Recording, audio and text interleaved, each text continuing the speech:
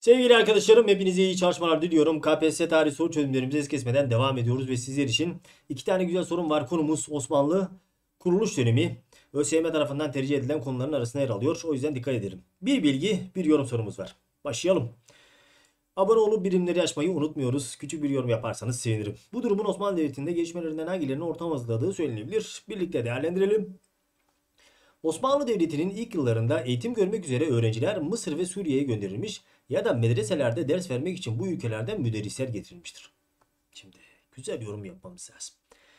Eğitim dilinde Arapçanın önünün bir bir konumda olmasına zemin hazırlayacak mı? Hazırlayacak. Nereden getiriliyor öğrenciler? Arap ülkelerinden. Mısır ve Suriye'den getiriliyor değerli arkadaşlarım. Ulusal bir eğitim politikası oluşur mu burada? Oluşmaz değerli arkadaşlarım.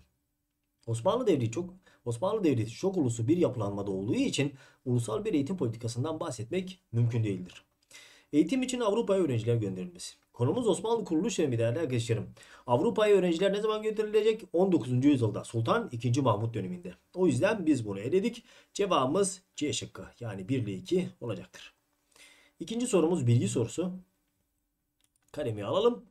Yeniçeri Ocağı'nı asker yetiştir- yetiştirmek için zamanında ne kuruldu? Cümlede boş bırakılan yeri neyi, neyi getireceğiz değerli arkadaşlarım? Mantıken bakın bazı soruları mantıken çözebilirsiniz. Yeniçeri Ocağı'nı kuran padişah kimdi?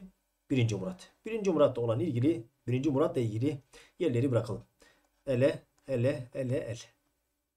Yeniçeri Ocağı'nı kuran 1. Murat'tır.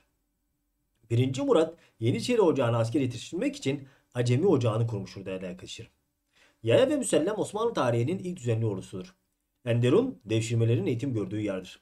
Eşkinci Ocağı ne zaman kurulmuştu değerli arkadaşlarım? 2. Mahmut döneminde. Sekban ve Eşkinci Ocağı kuruluyor. Ancak ancak Yeniçerilerin tepkisinden dolayı kapatılıyor.